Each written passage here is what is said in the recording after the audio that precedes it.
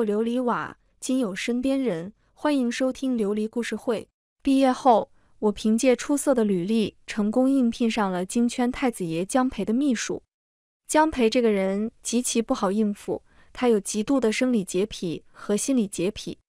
办公室里面见不得一粒尘土，身边容不下一个女人。我不仅要事无巨细汇报工作，还要将他生活的方方面面打点周到，更要二十四小时随时待命，打发掉一切试图接近他的女人。每次出差，我还要住在江培的隔壁。我需要打起十二分的精神。时刻做好将对家送来的脱光了衣服，在床上等着江培的女人从酒店房间里面无表情的丢出去，并给江培买解酒药的准备。终于在我连轴转无休近三个月，顺利完成了对一家传媒公司的收购后，江培回老家了。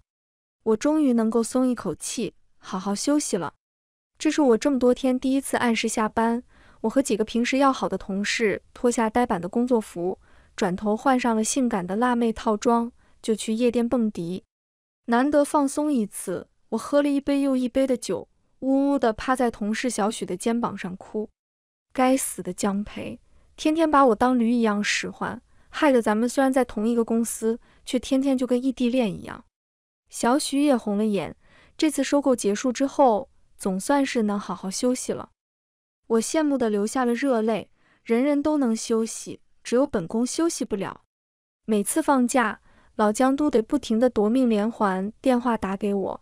上次五一放假，他家里让他去相亲，他当即给我打电话，让我穿的好看一点过去装正宫，愣是把人家小姑娘气走了。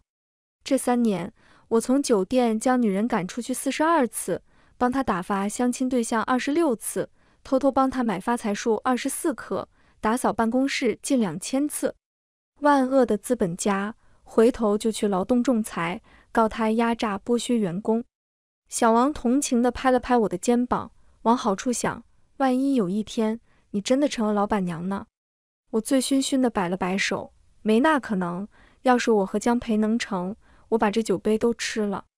酒局结束之后，没喝酒的实习生小夏挨个送我们回家。看到醉得不轻、睁着两个黑漆漆的熊猫眼的我。实习生小夏心疼地看向我，江总回老家了，估计明天也不来上班。小希姐，要不然你请个假吧，休息一天。我觉得很有道理。刚喝了八杯鸡尾酒，醉得不轻，估计第二天早上爬不起来。等到关上门，我跌跌撞撞走到主卧，抓起来手机就给备注为冷面阎王的江培发了微信。那几杯酒实在是上头。我迷迷糊糊就给江培发出去一句请假信息：“老公，我喝醉酒了，有点头疼，明天想和你亲一下，可以吗？”发完消息之后，我倒头就睡了。第二天刚一睁眼，难受的要死。我抬手摸了摸头，额头滚烫，鼻子也不透气，应该是感冒了。我习惯性的拿起手机，刚打开屏幕，就看见江培打来的十几个未接来电。还有微信，我吓得一个机灵，微信都没有来得及看，就赶紧给他回拨了电话。我揉了揉太阳穴，努力让自己嘶哑的声音听起来一本正经。江总，昨天晚上我喝醉酒了，所以没能及时接到您的电话。我以为姜培会像平日一样毒舌的讥讽我两句，还有心情喝酒，赶紧滚回来上班之类的资本主义语录，可是都没有。今天的姜培格外不自然。我我知道你喝酒了，就是问问你现在身体怎么样啊？听着声音似乎不太对劲儿啊，是不是感冒了？我有些稀奇，平时跟我说话，除却公事一句话，很少跟我说超过三个字的太子爷江培，今天竟然主动问起我的身体状况，真是太阳打西边出来了。多谢江总关心，我身体不错。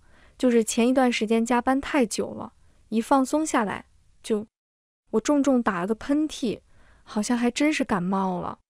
好好吃药，待会儿我让我的私人医生上门来给你看病。江培说：“如果今天晚上……”江培的声音极度不自然，我怎么听起来还有些羞涩呢？他顿了顿，又道：“如果今天晚上我能赶回来 A 城，我就过去找你。我，我，过来找我做什么？江总，您太客气了，我就是小病，不用您亲自登门来探望我，多给几天假期就行了。电话那头的江培似乎有些咬牙切齿。云溪，你说我为什么找你呢？我不敢说，脑海里飞速闪过我家里车上最近是不是有他落下的文件。电话那头，江培语气强硬：“你好好吃药输液，不要把病传染给我了。”我，我以前也不是没生过病，我的工位在江培办公室外面。我生病的时候，一般江培都给我放假。有时候我着急赶工，带病上班也都是戴着口罩，江培也总是戴着口罩。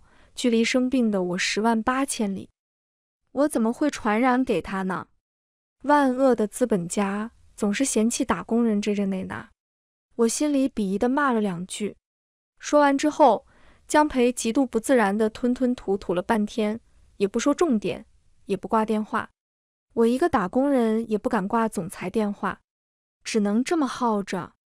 眼看着五分钟过去，我心疼我的话费，于是小心翼翼试探：“江总，您还有别的事吗？”江培终于开口了。声音急促又短暂，小乖，听话，等我回来。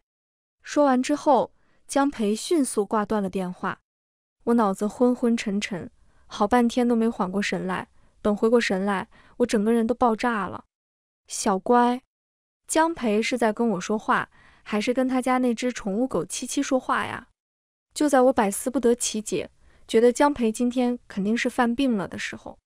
我点开江培发的微信消息看了一眼，这一眼了不得。我昨天晚上喝断片了，都忘记怎么给江培发的消息了。原本我想要发的是：老板，我喝醉酒了，有点头疼，明天想跟你请个假，可以吗？现在的聊天框内，我老公，我喝醉酒了，有点头疼，明天想和你亲一下，可以吗？对面备注为冷面阎王的江培撤回了两条消息，继而回复了一句：“嗯。”当事人就是后悔，极度后悔。本来我是想着直接辞职算了，我实在是没脸见人。但是在网上又看见了一个帖子，网友说为了上班能摸鱼，故意给老板表白，老板非但没有开除他，反而开始和他保持距离，能不让他干的活就不让他干。能让他干的活就让别人干。网友空闲时间多了起来，据说还抽空把 CPA 给考下来了。我做了一整天心理建设之后，第三天过去上班的时候，一群人非常关心我的病情。西西姐，你身体怎么样了？你可算是来了。西西姐，你再不来，我们都要被折磨死了。呜呜，西西姐，你平时怎么受得了老板的？你不在的这两天。我每天把他的办公室打扫的超级干净，你猜怎么着？他不知道从哪儿拿出来放大镜，直接指着一粒尘埃，说我没用心打扫。不仅如此，我交上去的策划已经让我改了九版了。呜呜，我压低了声音问他们：最近江总的心情咋样？这两天有没有物色新的秘书啊？听见我这话，特助小李瞬间瞪大了眼睛：什么叫做招聘新秘书？西西姐。你该不会要辞职了吧，西西姐，你不能走，你要是走了，我们怎么办？一旁的人事总监小孙听见我这话，当场瞪大了眼睛。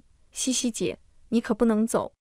你没来之前，咱们这儿的秘书几乎一周换一个，好不容易招聘了你之后，我这儿工作量都减少了不少。你要是觉得工资少的话，我马上就去跟老板汇报，建议提升你的工资。我本来想要解释我不是这个意思，但是谁会跟加薪过不去呢？我故作为难，这样不好吧？孙总监，要是江总不同意呢？孙总监连忙道：“不会不同意的，江总那么看重你，你可是他最信任的心腹。”我猛地呛了一口气，不知道他是从哪儿得出来的荒谬结论。我要真是江培的心腹，恐怕做梦都要吓醒了。其实我只是想要探听一下江培这两天的心情怎么样，可是没有一个人告诉我。最后我只好作罢。我怎么也没想到，不过半个小时，公司上下各种小群都传遍了我和顾总吵架了，打算离职的消息。每个人看到我的表情都带着同情和不舍，毕竟江培确实有点大病。整个公司只有我能受得了他，其他人压根无法和他在同一个空间相处一分钟。而我丝毫没有察觉到，我依旧沉浸在孙总监要提议给我加薪的喜悦之中。等我回到办公室坐下来的时候，熟悉的夺命电话铃声响起来了，是江培打来的。我又想起了那条错发的短信，有些后怕。我让旁边的实习生接了电话：“小周，你帮我接一下电话。如果江总问起来我，你就说我已经来上班了，但是身体不适。”这边刚接起电话，江培低沉的声音就响起：“云秘书，你来我办公室一趟。”实习大学生小周为难地看向我，我指了指自己的喉咙，咳嗽了一声。小周心领神会，冲我比了一个 OK 的手势。他对着我用口型说：“包在我身上。”继而他对电话那头一板一眼汇报：“江总，云秘书说他嗓子不舒服，没法说话。你有什么事情跟我说就行，我转达给他。”我，江培气笑了，他没法说话。怎么跟你嗓子不舒服似的？小周格外实诚，他在我旁边比划着说的。我，江培嗤笑一声，就挂断了电话，也没有再打过来找我。接下来长达一整天的时间，我都在和江培打游击战。江培开会，我布置好会场之后，以我怕传染给大家为由，让两个实习生过去播放 PPT。江培喝水，我全副武装。戴着口罩帽子，一个箭步拿着咖啡杯从茶水间冲出去，和他擦肩而过，差点把咖啡洒在江培的白衬衫上。江培吃饭，我直接放弃自己最爱吃的番茄牛腩、锅包肉、糖醋里脊、大鸡腿等难得同时出现在一顿午餐内的美食，而选择下楼吃虾仁云吞，以免在食堂碰见江培尴尬。我怎么也没想到。等我吃饱喝足，提着一杯冰咖啡回去等电梯的时候，和江培迎面撞了个正着。我们四目相对，颇为尴尬。按理说这个点，江培应该还没吃完饭呢，怎么会出现在楼下？里面特助按住电梯，看向电梯外的我：“西西姐，快来！”我可不敢和江培共乘一部电梯。我摆了摆手，讪笑道：“嘿嘿，你们上去吧，我就不挤电梯了。”我爬楼梯减肥，特助一脸惊讶地看着我踩着的恨天高。西西姐，你穿着高跟鞋爬二十一层楼梯呀？我在电梯里面的江培似笑非笑地看着我，我的脸瞬间红了一大片。跟我素来不和睦的死对头财务部的吴梦抱着手啧啧了两句：“进来呗，不知道的还以为你在躲着我们这里的谁呢。”电梯里面的同事们纷纷竖起耳朵，准备听八卦，目光大多都落在了吴梦本人身上。大家知道我们两个素来不和，吴梦比我大八岁，经常倚老卖老。每次我出差要报销的东西，吴梦总要卡我几回。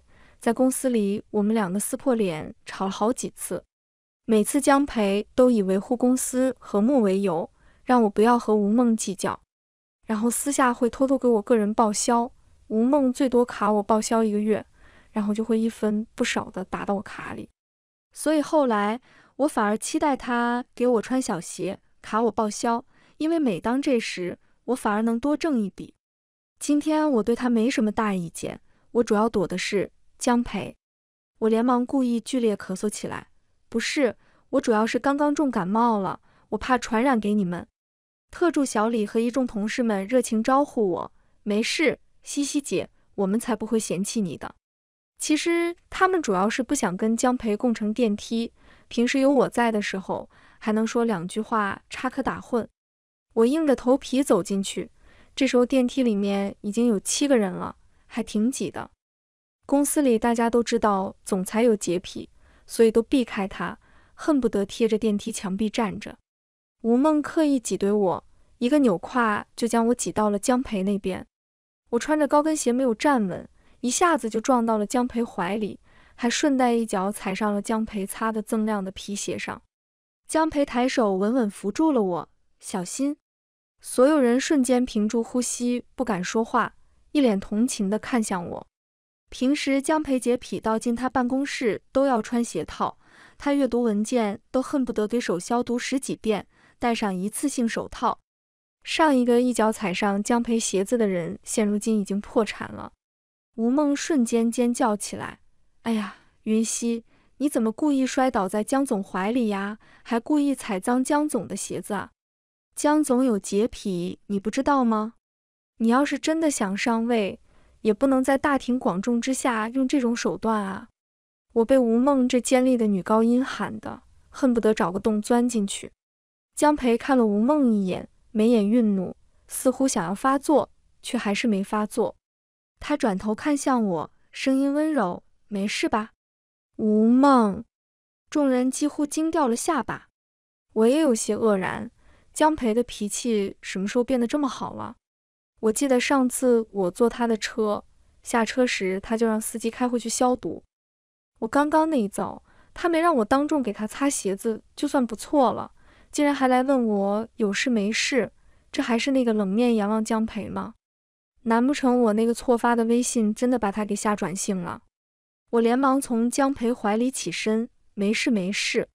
不经意间，我似有若无地蹭到了江培一截手指。江培眼角抽了抽，几番隐忍之下，还是没忍住。他在众目睽睽之下，从口袋里拿出一包便携免洗消毒液，撕开洗手。我，众人好奇八卦的目光又变回了波澜不惊。原来我并不是江总的例外。这边吴梦几乎快要笑抽了，格外得意。我瞪了他一眼，然后赶紧解释：“江总，不好意思，我刚刚真的不是故意踩你鞋子的。”一旁的吴梦阴阳怪气的添油加醋：“那这么说，你就是无意踩了的呗？”小溪啊，不是我说你，你是江总的秘书，也跟了江总三年了。你明明知道江总有洁癖，你还为了近距离接触他，故意踩他的鞋子。如果换成平时，我早就冲上去撕烂吴梦的嘴了。可是现如今，我心虚，我涨红了脸，几乎一句话都说不出来，最后只挤出来一句最近的热门流行台词：“吴会计要是这么说，那我无话可说。”一旁舞剧冲浪紧跟时事的特助没忍住，几乎笑出了声。吴梦刚刚一顿操作，似乎打到了棉花上，他一时语塞。也不知道该说什么才好，吃了个活生生的哑巴亏。眼看着电梯就要到达二十一层了，江培终于开口了，只不过不是开口劝架，而是火上浇油。江培眼底带着笑意，他看向我：“云秘书平时不是挺会说的吗？怎么不说了？跟他吵啊，我给你撑腰。”这边吴梦听见江培这话，气得脸色铁青：“江总，你还真是偏心啊！”江培挑眉，工作场合，你以为这是在你家里？谁都是你老公，都要让着你？我的人才不会让着你！吴梦冷哼一声，翻了个白眼。电梯里面的同事此刻眼睛瞪得像铜铃，这还是第一次见到江培在公开场合维护我这个秘书，而且是非常暧昧的维护。所有的同事听见这话，像是听见了什么惊天八卦一般。纷纷对视，特助正低着头，疯狂在微信聊天框里面打字。我涨红了脸，不敢直视江培，故作淡淡的开口，继续说经典台词：“我相信公道自在人心，不必多说。相信江总和大家心里都跟明镜一样。”电梯声响了，江培等一众人离开，吴梦气急败坏地指着我：“就你会装人淡如菊！”教训完我之后。他扬长而去，我正准备脚底抹油偷溜，前脚刚出洗手间，后脚就撞见了慢条斯理擦手的江培。我讪笑着冲他笑笑：“江总好。”我正准备开溜，江培冷冷道：“云秘书还想跑啊？”他一步步朝着我走过来，大事不妙，我心里疯狂敲起了警钟。我一步步后退，眼看着江培距离我越来越近。我身后就是洗手台，退无可退的时候，我连忙摆手挡在身前。江总，刚才我真不是故意踩你鞋子的。江培脸色越发阴沉，他弯下腰，我明显感觉到他的呼吸清晰可闻，周身乌木沉香的味道包围住了我。江培声音低沉，带着些许危险，在我耳畔道：“昨天不是说要跟我亲一下吗？躲什么？”我感觉我的脸就像是烧开了水的水壶一样滚烫。我嗫嚅两句，几乎是一句也说不出来。我那天是错发，打错字了。我抬起眼睛，可怜兮兮地看向江培，真的是错发。您大人有大量，饶过我吧。江培挑眉，宛如男狐狸一般，声音带着诱惑：“你敢说，你就没想过？”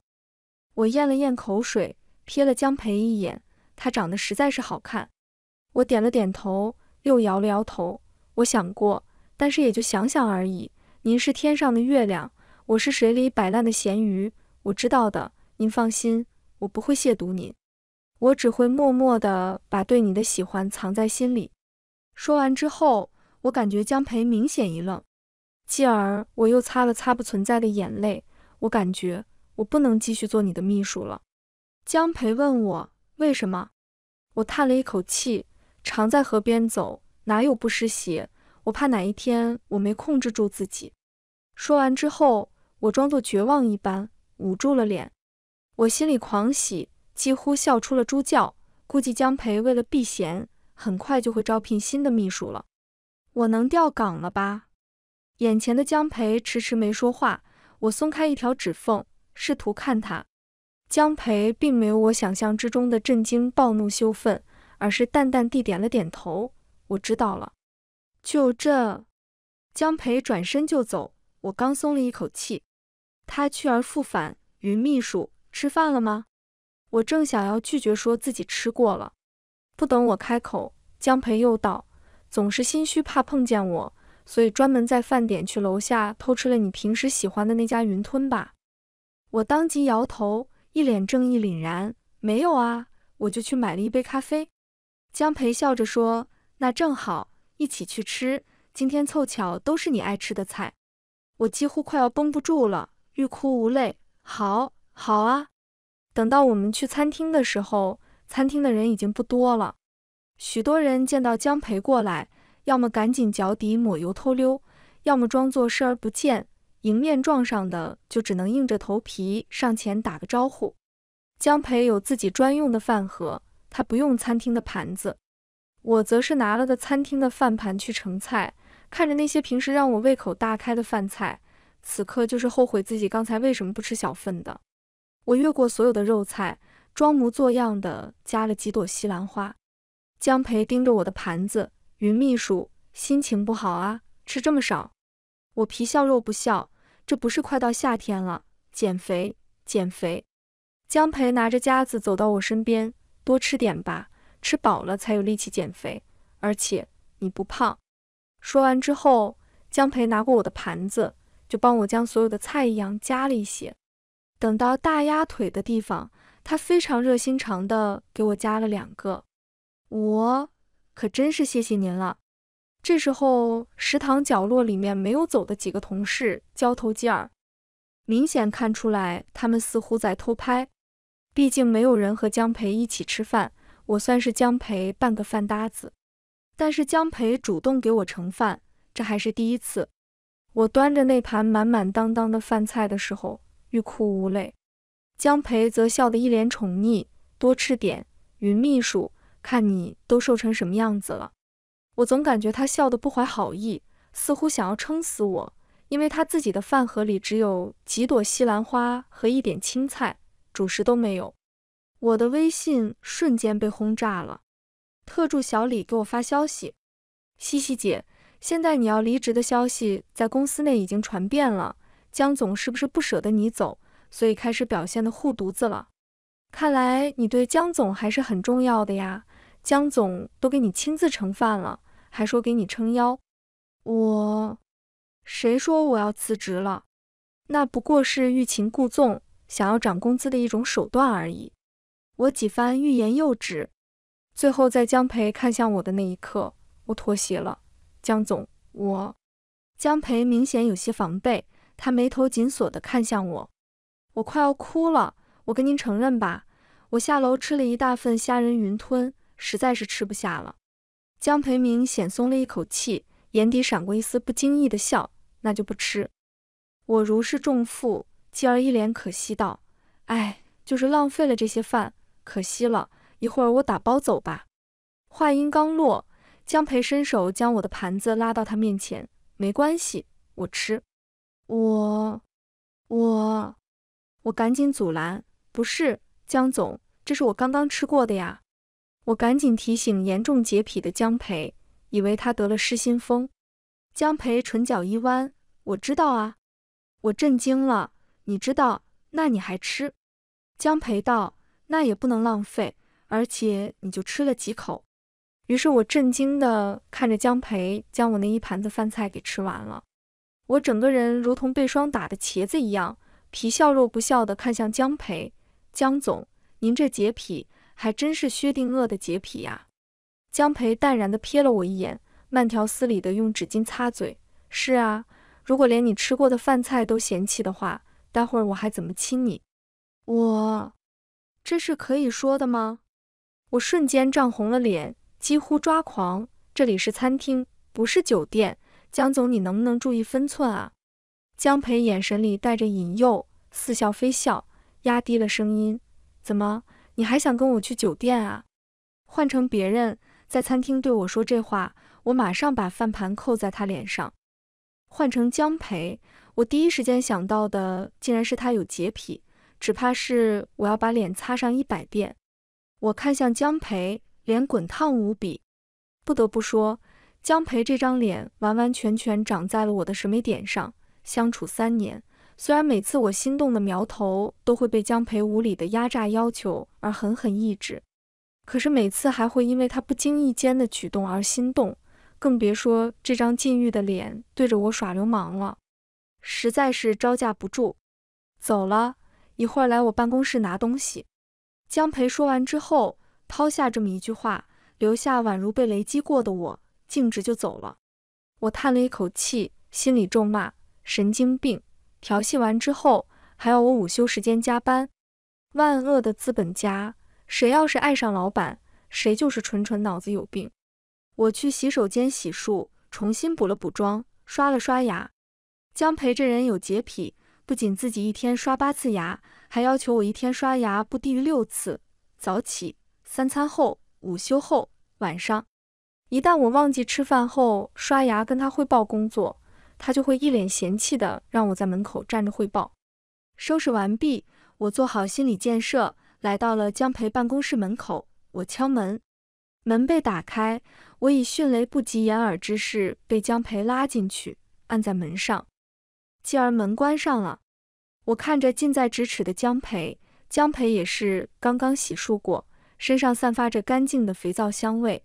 混合着乌木沉香，让人格外沉迷。这个姿势诡异暧昧，我试图从他胳膊下面钻出去，又被他一把捞回，重新按回去。四目相对之下，江培终于开口了，他神情颇为不自然。听说你要辞职？我……我脑海里想过几百种狡辩的话术，但是还没有开口。江培又对我说：“不就是觉得表白失败了吗？”是不是不好意思了？